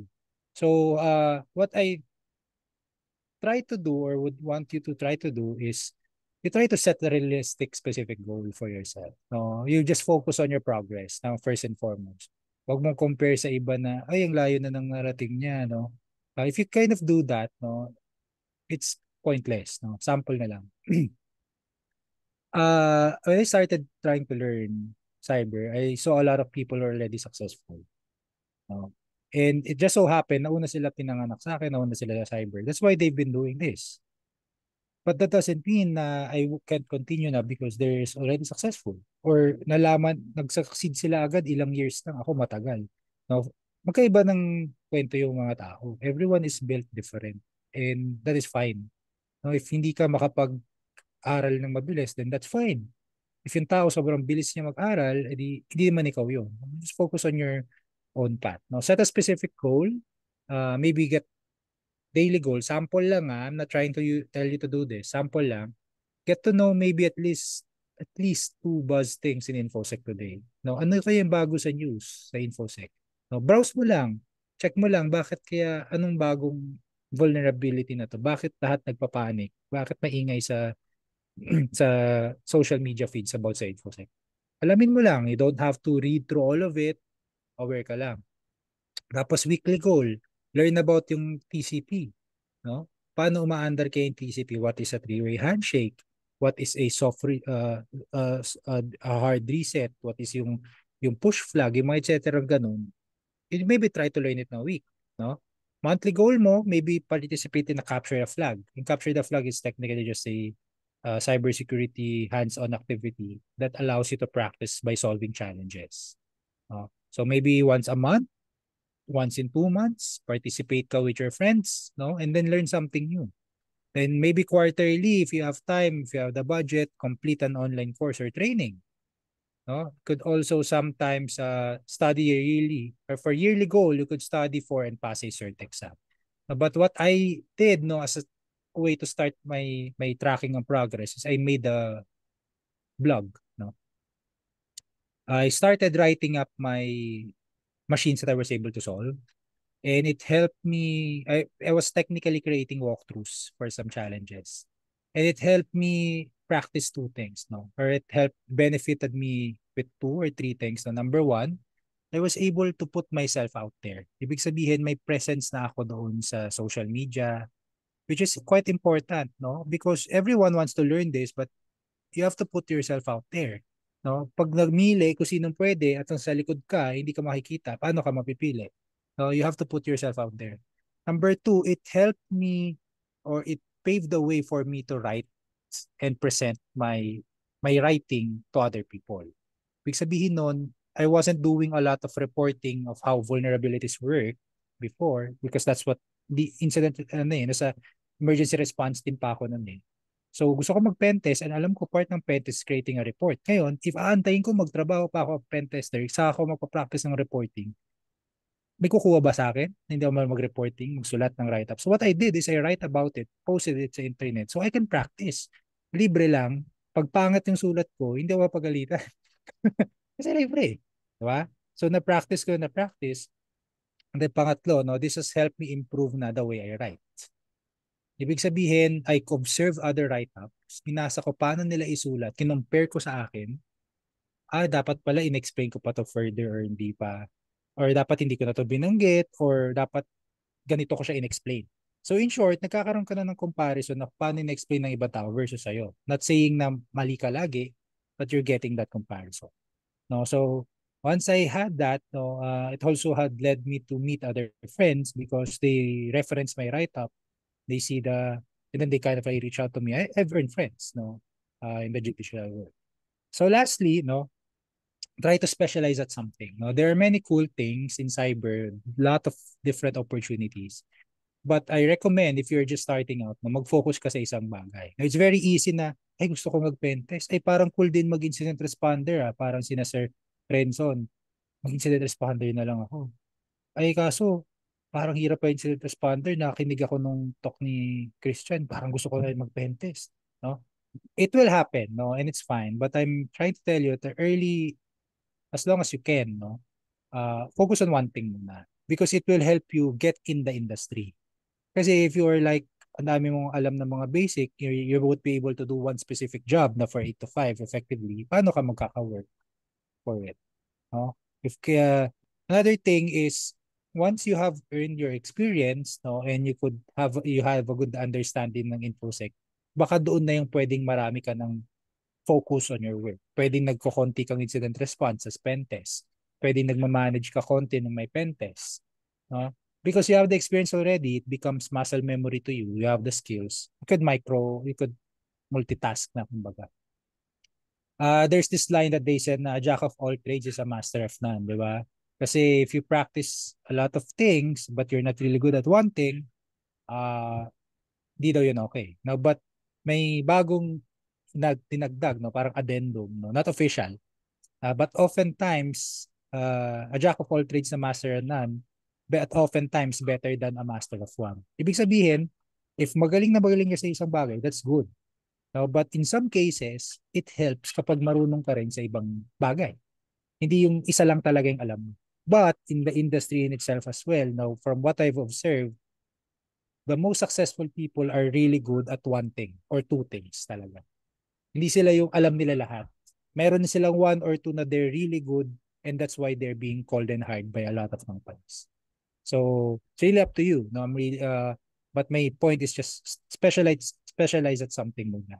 No? Then, uh, do you know why it's hard to special or to be master of ano jack of all trades kasi because the technologies we are securing today are quite complex no back in the day naririnig ko sa mga kwento ng mga titos ng infosec na dati eh, pag nag nahuli ka ng antivirus, sorry for the word, pero talagang may mali ka ng ginagawa. Sobrang hindi ka marunong. Kasi nahuhuli ka ng antivirus. Pero ngayon, pag nahuli ka ng antivirus, normal na yon because that's how good the security has been now. Pero back in the day, yung 2008, MSO 8067, iran mo, pag pinaran mo ng tool, may access ka na agad sa machine, hacker ka na. But now, if you run that tool, there's not even a remote code, there's not even a similar exploit for SMB today. So, hindi mo na yung magagawa. Ang kaya ginagawa ngayon is phishing email client side. Ang hirap rin mag-create ng phishing email. But sino tina-target mo? Bakit mahirap? Kalaban mo Microsoft saka Google. Oh. It's very hard to do it today. No? That's why uh, sometimes no, so much better to focus on one. Okay? So uh, that covers it, no? Uh, this is just my last slide, no? Here are some of the careers you can do in cyber. And it's the coolest daw in arrange. I don't even know how they arrange this, no? But don't look at the number here, some of the careers, no? It could be a threat hunter, red teamer, a digital forensic analyst, a purple teamer, cyber architect, CISO, whatever it is, no? Search lang careers in cybersecurity SANS, uh, you'll see this and maybe it inspires you to do a certain role, doon ka mag-focus. Okay? So, I think that's it. Uh, yun na yung right. official so, I hope, presentation. Um, nag-take note kayo guys, pero don't worry, recorded naman. So, napaka value pack ng mga senior ni Sir CJ and lalong-lalo na if you're just starting. So, hopefully, hopefully, you learned and you execute. Kasi, wala ring mangyayari kung you just listen today tapos you don't follow up ka, ika nga. So, make sure you you apply the lessons moving forward para talagang makakuha kayo ng result. So, you can post your questions right now dun sa chat box natin para for example, you have questions about certifications on, or anything, masagot ni Sir CJ. And then, check nyo na rin, may pinaste ako na link doon sa chat natin for attendance or certificate doon sa mga kailangan. May mga kailangan, pakiano nyo na lang. Sir, may tanong dito. Uh, saan na yun? Sige po. Uh, EJPT of INE or PJPT of TCM as a beginner? Uh, to be honest, no, I think I can, no. I did not take any of them kasi nung lumabas yan, medyo uh, well, nung nag-start ako, wala pa yan. So if you ask me, uh, you can't go, I think, uh, I mean, I've not done my research, no, but so much, no, from what I've observed, you're okay with either going with both, no? Ang difference lang, to be ko sa personal opinion, na I'm not working with any of them, no? Ang EJPT is quite known as a starting point. No? Nauna yan sa PJPT. Uh, kaya may PJPT dahil sa EJPT. Kasi uh, nauna si EJPT. But so if you could take na EJPT might help with some organizations kasi kilala nila. No, but if you're trying to go for practicality, I think uh, no bias but knowing Cyber Mentor and Cyber Academy, baka mas mas packed or mas hands-on yung PJPT, mas good siya skill-wise, but in terms of recognition ng companies, I'm not sure if talo niya si CJPT. Kasi CJPT e-learn medyo kilala yan eh, na brand. Okay? So, really up to you. If kaya mo, take mo pareho. But, Alright. ayun. Another one, what is the difference between InfoSec and CyberSec? Okay, uh, difference na InfoSec and CyberSec, no? Medyo uh, magulo rin ng definition yan. But ang, the way I'll put it is, I sometimes think that cyber is a subcategory of InfoSec. Kasi si InfoSec is really making the information secure. No? Ibig sabihin, even though it's a paper document, and it's a folder with documentation at secret, top secret projects sa loob, the way you secure the document is technical information security. It just so happened that part of the way that we share information today is via digital or via the cybers. That's why securing the cybers is called cybersecurity. So if your information is stored on the cybers or the IT, it becomes cybersecurity. But technically, the whole process is InfoSec. So I'd like to assume it's like a subcategory of InfoSec. So parang more on umbrella thing si InfoSec, di ba? So ang mother Yeah, yeah, yeah. Mm. Pero ano, interchangeable na siya ngayon sa industry. Mm, And to be honest, ano, hindi na rin alam ng mga tao yung puti sa itim. Ah, ito pa, Sir CJ. I'm an EC graduate too. So how do you start in Ah. cy- security in career in cyber? Do you have any prior experience in IT before joining the cyber or start from graduation? Ah, okay, sige, basa ko na to. So from question, uh, how did you start in career cyber? So I said I got into a scholarship, no, which may not be available today, but I got into a scholarship which kind of like forced me to study on my own. Then from there, uh, I tried to look for jobs na having nakuha ko na yung cert, ah, may CCNA cyber ops na ako, but I have no I have no cyber experience. Naganap ako ng trabaho ng pang SOC analyst. Lahat ni-reject ako. No? Kasi nga, meron kang cert, pero hindi naman kilala yung cert na yun eh. So bago And pa lang yun, no? bago yun. lang. Mm. Kaka-introduce lang noon. So bago lang yun. Hindi ako man kilala. Tapos ang background mo, IT. Ay ano, ECE. So nahirapan na ako kumuha. No? So I just got lucky. I was able to land a job na medyo covered pareho. So technically sa government ng cyber kasi yun. So nagamit ko yung ECE ano ko, portion. At the same time, cyber yung kailangan nila. May cert ako. Pwede na. No? But uh, to answer your question, no, it, the time may be different today. But you have to apply for jobs. Or yung binanggit ko kanina, mag-practice ka ng CTF and you put yourself out there. Because most of the employers today or some of the good employers that I know no would not care whatever is your background. As long as you've shown in the past year that you are learning cyber and you're passionate about it and you are your work is out there dinocument mo you're trying to read on things they will take a chance on you. And I know companies that are like that. No so uh yun that's a good start tapos I Yeah, think yeah. questionnaire hmm, ayun Agree din ako kasi kung matatandaan nyo, nung last time, we have Sir Rodel Yemit. Kilala ni Sir CJ siguro yon. So, he started Yeah. as a postman, tapos nag Yep. hindi siya college graduate, and then nag-study lang din siya ng penetration testing. Right now, isa na siyang senior penetration tester. So, it's really a fair game talaga if you work hard for it, ika nga. Yep. Yep. Ito bro, ah, medyo interesting tong isa. Sabi niya, Mm. may possible ba na makulong sa mga cybersecurity department? If for example daw, napasok pa rin ng attacker kahit na natapos na yung pen test, something. Nung...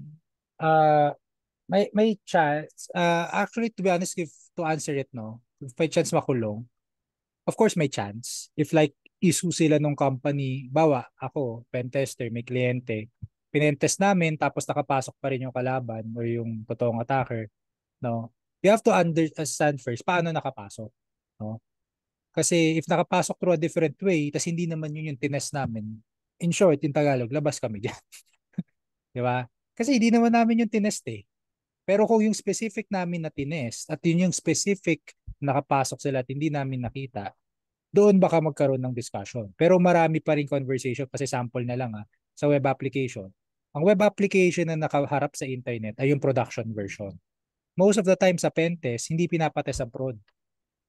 Kasi nga, yan doon yung important data, baka bumagal yung server, baka ma-down yung server, yada, yada, yada.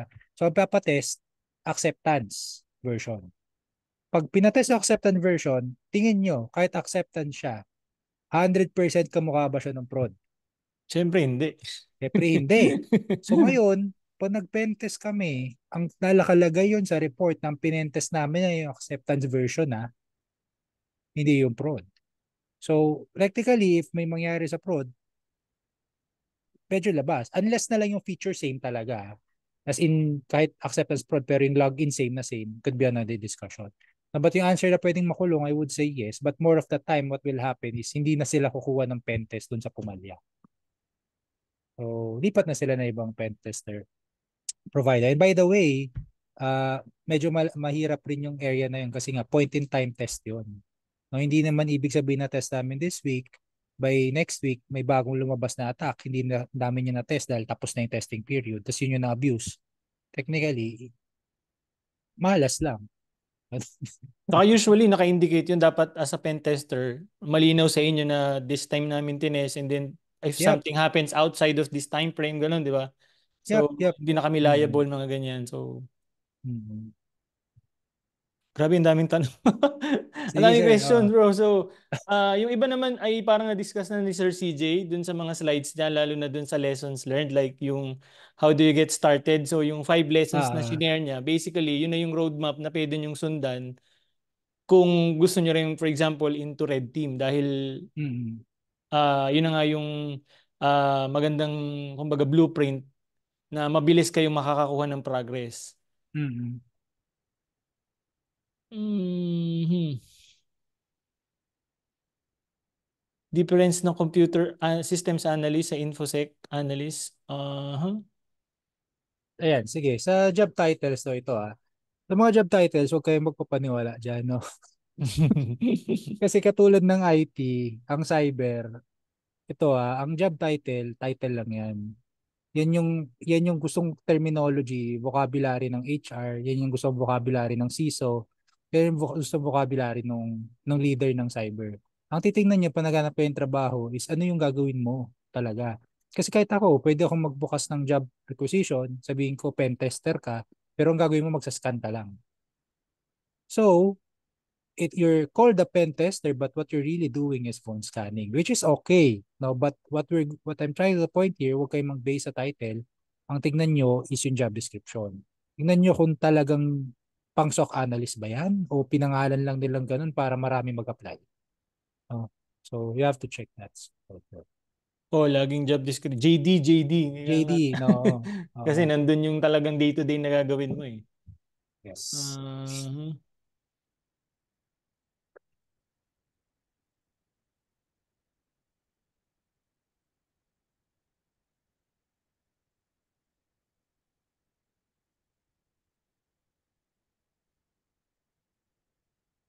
Certification, sir. Ano marerecommend mo for entry level? Like for example, you recommend CyberOps din ba right now? Kasi marami nang naglabasan ngayon eh. Marami nang Mm. pwedeng pagsimulan eh. Ah, ganito, no? So if uh, the case with sa InfoSec, if you're starting out, no, dalawa lang ang pinaka nare-recommend, no. Number one is yung C- CC ni IC squared, no? Ah, and then yung Sec Plus ni CompTIA. Yun. No, ah so yun yung tignan yun da pareho. Ah, if kaya nyo, take both kasi based on what I understand or how I understand it, magkaiba sila ng approach kahit pareho sila entry level. Kasi si CC, IC squared, it's meant for you to be much more uh, well-rounded pero hindi ganun ka-technical yung questions. Ibig sabihin, magiging aware ka how business uh, business uh, ay disaster recovery works, no? Uh, paano yung business continuity. Kasi part yun ng cyber, ng InfoSec, ng Mhm. SegSeg. Yeah. But yung si Sec Plus naman, they will cover that pero much more going to be hands-on. So you're going to have that as well. So if you could take both, no, do that. No, but in terms of which to go first, Euro CC na lang. Not really sure. No. Not taken CC. And Sec Plus. Pareho hindi ko na-take. That's why I observed lang.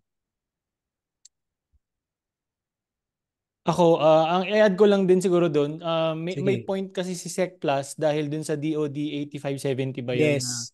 if Yes, you're working oo. with uh, any US department or something, nire-require Mm. nila na yung mga technician or something na mag-work sa related dun sa project is uh, Yep. has certification na related dun sa DOD 8570. So plus points yun sa inyo if yung company nyo, for example, is partner nga uh, or mag-work sa US any agencies, ganyan. Mm-hmm. Ito bro, uh, what is your opinion about AI and its impact on cyber? Uh, interesting field, no? Uh, with AI, there's a lot of things going on and similar with how big technologies ng pinanganak, hindi natin naiintindihan kung anong pwede, pwede mangyari. No, but my point with AI is hindi na natin yan maalis. It's here to stay. Hindi mo na pwedeng kalabanin. No? So what I recommend is let's treat it as a technology that is there. So let's use it. And at the same time, let's figure out ways to improve it no, by finding vulnerabilities. Kasi technically, if it helps with the AI part of cybersecurity, it's good, no? But again, ah, tandaan nyo, yung point ng cybersecurity is to help organizations be secure. If ginagamit mo yung AI just to automate a lot of things para wala kang gagawin, but you don't put in the context, walang analysis, it's still a tool, ha? Tandaan nyo, yung AI is still a tool.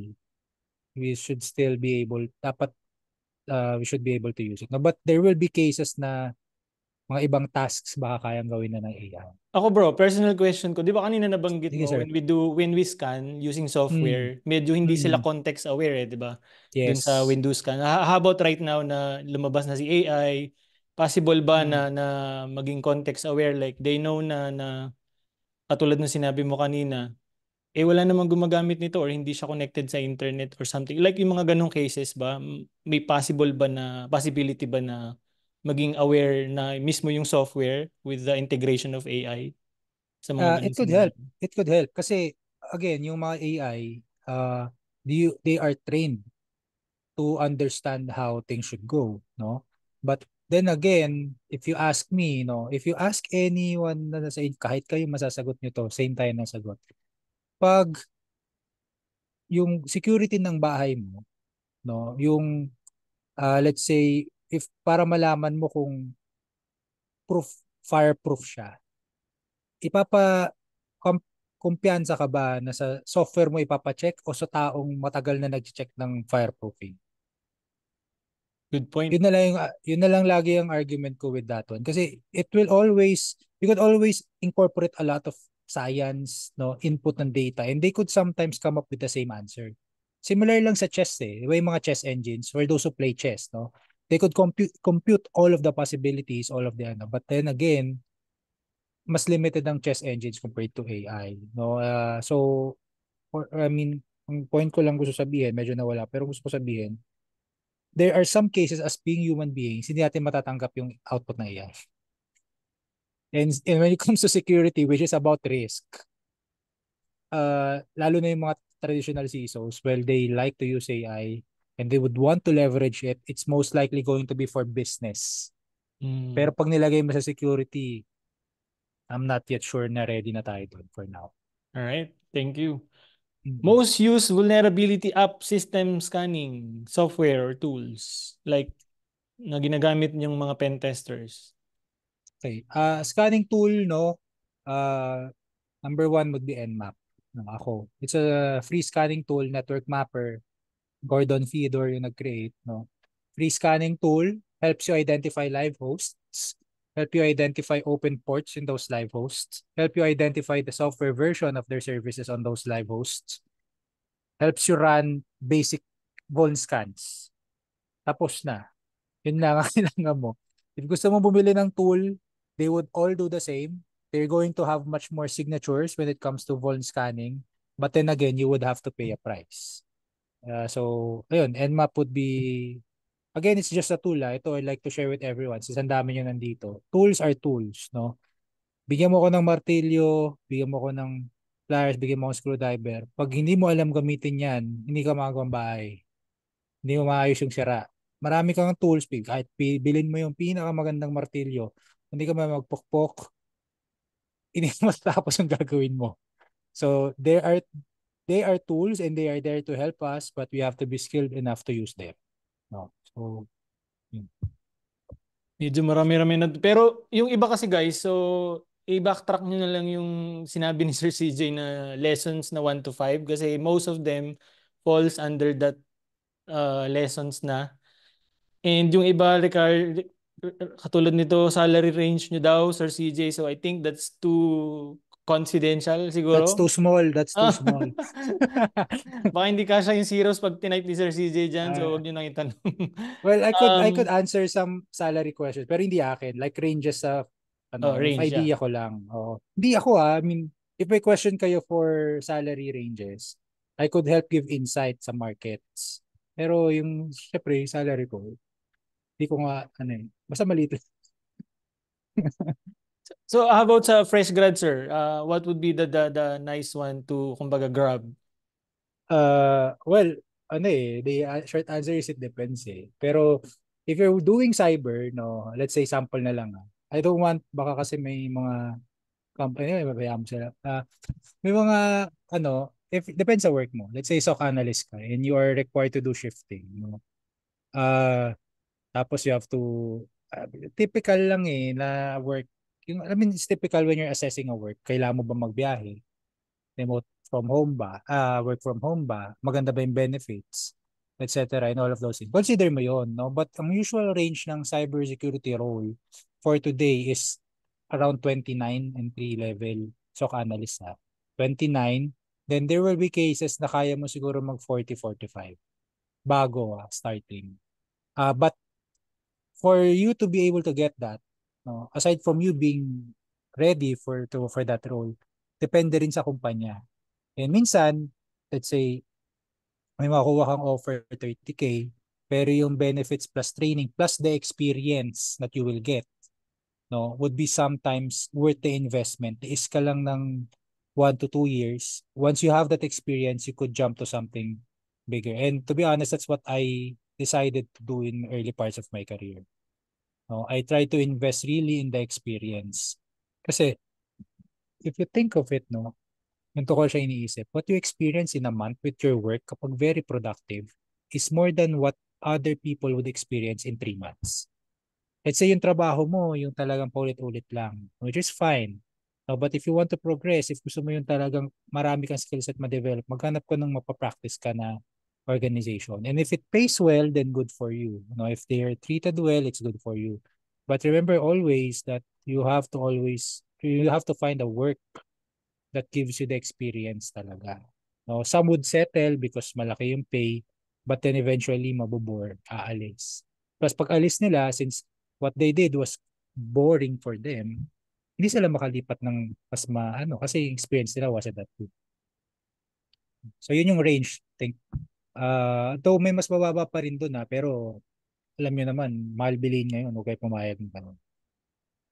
Yeah. Uh, from Sophia naman, meron bang international company? Uh, I guess this is, um, meron naman, maraming international. We can apply naman online kasi most of the cyber kadalasan can work from home, di ba sir? So, uh, it doesn't really necessary Yes. na local or international. So, yun nga, tingnan niyo lang siguro yung job description. Trustwave, Trend Micro, those are one of the locals na, or international din, na kilala sa Pinas in terms of cyber roles. Yeah, ano, ang note ko lang dyan, no, in terms of cyber, so this is just my personal opinion, no. Uh, things you'd have to look for is if the company is really cyber focused, ibig sabihin ng part ng ginagawa nila is mag-deliver ng cyber services. There's a good chance na maganda experience. Kasi you are building something eh, and you are part of the team that builds it. Ang draw, ang mahirap kasi with very big organizations, like yung talagang kilalang brands, is you will be asked, you will be, be working in a very big company, pero you will be asked to do one or two specific things palagi. And sometimes that's boring for for other people. No? But in terms of organizations, marami nag-hire sa Pinas ngayon. As in, some there's one big company, they just moved their full cyber operations sa Manila because they can't afford to do it na sa US. So they're hiring sa Pilipinas. Alright. So, yung ibang question guys, again, uh, yung mga common sense, hindi na natin isasama dahil nga uh, you know the sense, answer pero naman hindi. eh. Gusto nyo lang mabanggit yung tanong nyo. Siguro, I assume. Pero yun nga, balikan nyo yung five lessons na shinare ni Sir CJ and I'm sure nandun na yung sagot. Uh, huh? Ah, saan ba tayo? naka-encounter ka na rin ba ng s- ransomware attack, sir? Actually, siguro, s- sigurong yes yan, di ba, sir? Ah, saan ba Yes, yung... oo. Pero definitely not at the scale of Renzon or Sir Renzon. No, yun talaga he eats he eats ransomware for breakfast for Yeah, yeah. sure. So, ito, sir. ah how to follow or mimic a real adversary attack? Available na ba yung actual exploit na ginagamit nila? Yes. No, how do you actually mimic, no? If I could share my screen, no, very quickly lang. Sure. Ah, naka-share pa pala ako, no? I mean, I'll stop I'll stop my sharing. I'll share a link, no? But I'll show you this fantastic resource from MITRE Attack, no? Which technically lists already all of the TTPs or tactics, techniques, and procedures by the attackers. And having said that, no, you could use this as a reference to understand how the attacks work and at the same time use it to protect yourself, no, your organization. So, kita nyo tong matrix na ito. These are all of the known documented ways to perform a specific tactic. No? Uh, let's say reconnaissance. These are all the things that you could do. If gusto mong magkaroon ng initial access, these are all the things that you could do. If gusto mong mag-persist sa isang machine, this is all you could do. And by the way, if you click on the link, no, or these ones, no, you could actually see how to fix it or mitigate it at a very high level. And at the same time, you would also, maganda dito yung, uh, sorry, you could also see sa reference na to, yung groups, no, which shows yung mga known APTs, yung mga napap, nababasa nyo sa palaba, sa mga nababasa, palaba, nababasa nyo sa mga articles, napapanood nyo sa TV, no? These APTs, no, uh, you could click on them into mga specific threat actors. Sample, APT-29 is a threat group that has been attributed to Russia's FIS. So, government siya ng Russia, their APT-29, that's the alleged, no? And they are attributed, if you've heard of SolarWinds compromise, they were the they it's attributed to them. And they're also known as these. And pag tingnan niyo sa baba no these are the techniques that they these are the operations or campaigns that they've done. And here are the techniques that they did. So it's fantastic resource. Uh ito SolarWinds compromise kita nyo. Sobrang dami nilang ginawang techniques.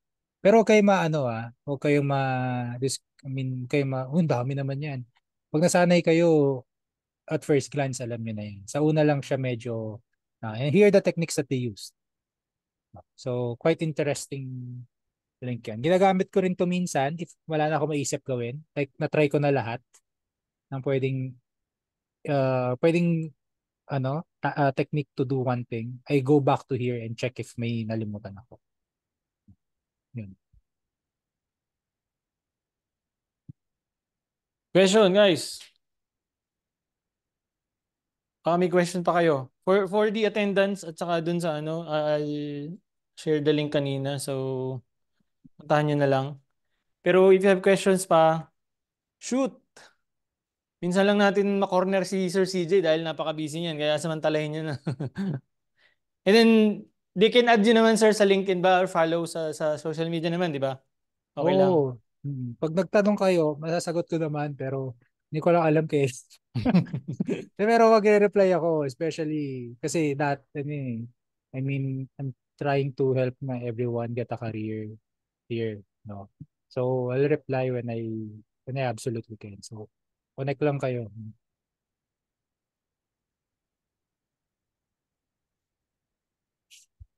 Sir, tips sa consi- consistency ng pag-aaral yan. Medyo mahirap na bagay yan. ah actually may presentation ako diyan no yung sa consistency ng pag-aaral um again, it would fall depende kung anong klase mo, kung anong tingin mo sa InfoSec.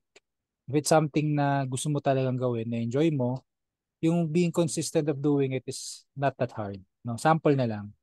Yung mga larong ilang oras yun ang nilalaro o yung mga palabas na ilang oras yun ang pinapanood. Madali siya gawin eh. Kasi na-enjoy mo gawin. So yung you, being consistent na gamer, may man siya tinatanong, di ba? Parang pag tinanong ka, pa, ba't ang hilig mo maglaro? Hindi mo masagot eh, di ba? Kasi ga, it's, it's consistent for you because you enjoy it, no? So, let's not cover much of it kasi pretty natural na yun would come. Ang for those who are not like really that passionate really busy, no? Kasi may mga passionate but hindi kaya may life commitments, no?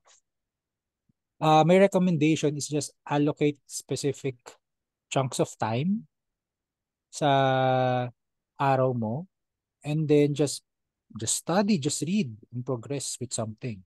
No? If let's say kaya mo mag-allocate 30 minutes a night ng pagbabasa, an hour, do it, no? Pag nasa biyahe ka sa P2P, no, kaysa or sa mga bus, kaysa manood ka ng Netflix, manood ka ng tutorial. No, along the way.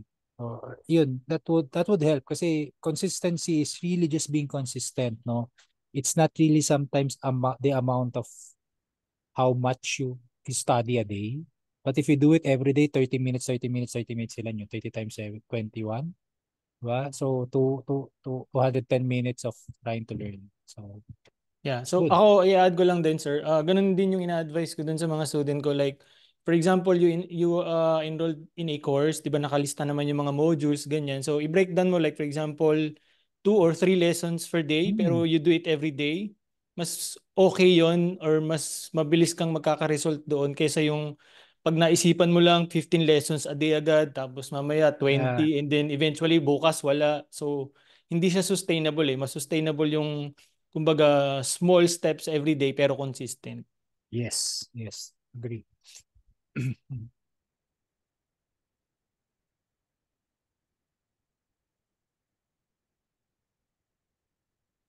Uh, huh. C- Sir CJ, overall cost you invested to get you from fresh grad to your Engineer current role current now. Uy, role. baka Ah. hindi kasya yung zeros dyan. Overall cost, uh, your soul lang naman, your soul. Joke lang.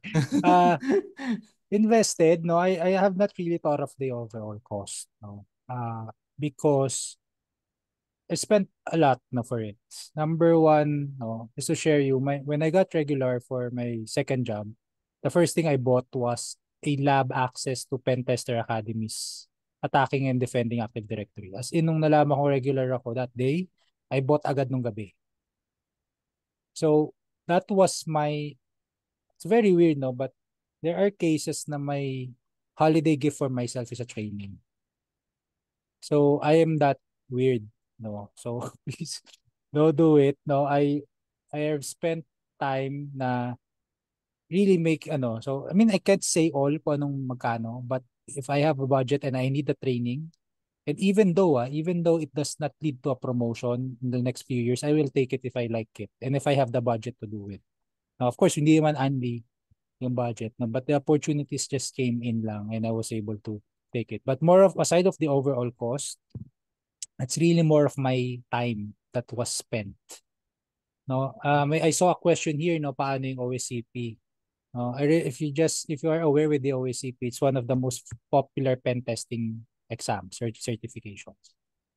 And to share you my story with OSCP, I've been wanting to take that cert since I started writing, doing the write-ups, which is 2018, last quarter in 2018. I passed the cert 2020 na, December. And to share you my story, around 2019, I know I am ready for the exam, but I cannot afford it. So, what I did before that's why I was ready for exam is I spent a lot of time doing CTFs and learning and learning and learning. So I was not spending any money for it, but I was spending so much time. Two to three hours at night, sometimes four hours. Sa break time ko, I do CTF when when I was learning. So it's really more of the hours. No, I've skipped a lot of going out. Wala akong masyadong gala with friends because I prioritize the the learning of it. So if you'd ask me if the overall cost, it's probably going to be a, a million na may get because of the GIAC mo. But if you look back at it, it's really more of the time. Kasi I did this consistently for five years. And uh, I mean, you know, your, some organizations would pay for it, but the overall cost aside. But yung pera, I think mag alam. Totoo lang, hindi ko na alam. Basta there are certs that I paid for and there were certs that I was lucky enough to be sponsored by my organization.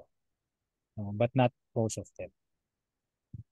Yeah, ang kailangan nyo lang din siguro makapagsimula kasi marami naman sa mga employer most of the time is kung hindi man sagutin lahat is uh, at least may fund for training at saka certification. Although hindi yung mga prestigious ones like mga GIAC. Pero I, I think may Yeah. mga company rin na nagpo-provide at tumutulong. So once you get started naman tapos nakita nila or talagang you acquire the skills, makapasok ka dun sa mga company na nagpo-provide ng mga pre-training and certifications. Minsan abroad Yeah. pa, di ba? Yep, ano, ang ma-recommend ko lang talaga sa inyo or advice is if you want to like take the training certifications, no, when put yourself dun sa lugar na pwede mo mabot yung opportunity na yun, no? Let's say you're working in a non-related job na cyber. Don't expect mapagsasans ka or mapagkokomtiya ka na training. Because that's not your job. That's not your function, no? So expect it na huwag ka magalit sa employer mo, no? If you want to really do it, then save money for it if you can. If you can't, ask your employer if they could pay, will pay for it. But as, as I've said, dahil hindi nga cyber yung work mo, they most likely won't. So maybe you could look for other employers that could pay it for you. Ask mo sa interview, di ba? Tanong mo, nagpapatraining ba kayo? Remember, ang interviews is about you being a good fit sa company and them being a good fit to you ah, sa tao. Na madalas kayo sa Pinoy, dahil tayo in-interview para utang na loob din yung work with them. But Tama, at- to be tama. honest, tandaan nyo, kayo yung nagtatrabaho and you're a human person, dapat yung environment na po-provide sa iyo is fitting for your for yourself as well. But you don't get to pick kapag umpisa. That's the harsh reality. Hindi ka pwedeng ayoko dyan kasi hassle. Eh, bago ka pa lang eh. You have to really suck it up. Ganun talaga. But in some cases, you'll be able to choose. But ask for them if, if they provide trainings. No? And sometimes some organizations would do it. Hindi lang kasi binibring up ng mga tao. Uh, sir, question, saan na yun? Mhm. Who earns a higher salary? Network engineer or security analyst? Actually, Ah. kanina, nasagot na, na ni Sir CJ. Usually, it uh, boils down do sa job description kasi I knew someone na earning 6 digits, 7 digits as a network architect, network engineer. Mhm. Pero meron din namang security analyst na nasa mababa lang dahil yung role niya is talagang yung level or yung salary niya is ganung level lang yung role. So iba-iba. Yeah. Kung ano yung uh, job description nga or ginagawa mo, uh, basically, dun nakadepende yung salary. So Yep, pwedeng uh, may mas mataas sa'yo kahit nasa network ka or any other domain or pat sa net sa, sa IT or sa cyber. So look at the role or job description, dun mo malalaman kung gaano kabigat yung siguro yung salary. Yep. Uh, sample na lang dyan, no? If you look at for security analyst sa Apple, sigurado ako ang security analyst sa smaller company sa Apple, magkaibang magkaiba ginagawa. And magkaibang magkaiba ang pay nun. If you're a security analyst sa Apple versus security analyst, let's say, at sa different company na hindi kasing big ng Apple. So look at the JD. Uh, yun, das, pag may JD ka, sige, doon ko siguro ma-compare. Pero you have to consider yung salary. Saan ba base yung company? Uh, sa saan ka ba? Cost of living. Because doesn't mean you work in cyber if same kay lahat ng salary. Depende ko sa ka rin nakatira. Sir, may oh, CJ din to, bro. Sino, Hmm. sir, may tanong. Uh, may security po ba ang blockchain or may sarili na siyang security framework? Yes, may ang blockchain by default is uh, has security components in it. I'm not familiar lang with every new thing that came out with blockchain, but there's a reason why cryptocurrencies run over it, no. Ibig sabihin, secure may Mm. secure may security 'yon, no, talaga. And malamang may security frameworks for it as well. I just not really am familiar, but I could confidently answer that I think yes. May not sure lang kung may official lang or what's in the ano. So maybe Google nyo na lang po. Di Ito bro, sure. uh, do you write your own script daw ba for payload or you use open source din like from GitHub? You will use most of the time I use open source. No, uh, it's the, the offensive side of things. If you're doing pen test, yung traditional pen test, uh, you will have much success by just getting scripts from exploit databases, and that will work. No, In some cases, you would have to write your own scripts in case the need arises. No? That's why if you have the skill to do that, then that would help. No? So if you are thinking na if you can't write a script, you can't pen test, you are wrong. No? There are several pen testers who have been in the industry and could not do it, but they still have a job. So, so don't fret it too much. Ah, Adrian Liagyuna, sir, ano ma-advise mo for me naging para maging confident? CC Co- cert, ano yun? CC and Sec Plus certified tapos nag-take na rin ng E EH BAPT sa GuideM. Pero Hmm. nagdadalawang isip daw, bro. So I think it's more of a confidence issue. So try lang sa akin, para sa akin. Ewan ko kay ma-advise si Sir CJ. So parang nagda-doubt siya sa sarili niya although meron na sang certification plus may Mhm. training pa. Hmm. With that, Ah, ano eh, parang you're ahead na most in most of the the applicants eh. Siguro in- kina-question mo lang yung sarili mo. Probably dahil kino-compare mo sa iba na nagsimula ng mas maaga sa'yo. So hindi siya tama pagka ganun. Yeah, I think uh, okay naman yung ano mo eh, you've started, you have those credentials and you know it for yourself. That's why you're asking a question. You know it for yourself, you have the credentials, sa training ka. The confidence though is a different thing, no? May mga taong wala namang kaya, pero very confident sila. And sometimes sila yung nakakalusot, no? like for example, if you watch yung mga TV movies, di? Ganun yung story. Eh kay, kay Steve Jobs, di ba? If you watch yung documentaries before, he's not really the designer programmer of Apple. You could argue with it, but he didn't code it, di ba? But he was out there saying na he did it. Siya talaga yung founder. No? And which resonate with other people. So yung confidence, bro, ano lang yan, lakasan lang talaga ng loob. Ah,